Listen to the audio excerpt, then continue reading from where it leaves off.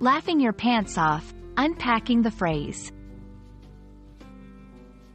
Hello, everyone. Welcome back to our channel. Today, we're diving into a fun and interesting English phrase, laugh my pants off. This phrase might sound strange at first, but it's a colorful way to express amusement or laughter. Let's explore what it really means and how you can use it in everyday conversations. At its core, laugh my pants off is an idiomatic expression used to describe finding something extremely funny or hilarious. The phrase paints a vivid picture of someone laughing so hard that their pants could theoretically fall off. Of course, this is an exaggeration and meant to be taken figuratively, not literally. It highlights the intensity of the laughter or amusement experienced by the person.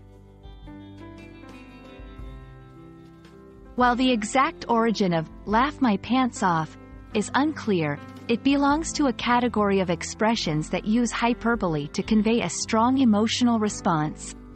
Similar phrases include split my sides or die laughing, all emphasizing excessive laughter. In everyday usage, it's a light-hearted way to react to jokes, funny situations, or hilarious content. You might see it in casual conversations, social media posts, or even in text messages when sharing jokes or funny videos. To help you understand how to use this phrase, let's look at a few examples. I saw a comedy show last night, and I laughed my pants off. Whenever I watch that movie, I can't help but laugh my pants off. My friend told me a joke so funny, I nearly laughed my pants off.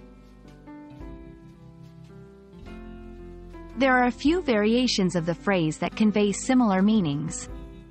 These include, laugh oneself silly, laugh till I cry, or laugh my head off.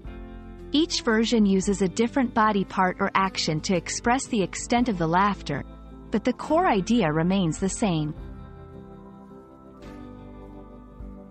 And there you have it, a complete breakdown of the phrase, laugh my pants off. We hope this video has not only entertained you but also added a fun expression to your English vocabulary. Remember, language is not just about words and grammar. It's also about the playful and creative ways we use it to express ourselves.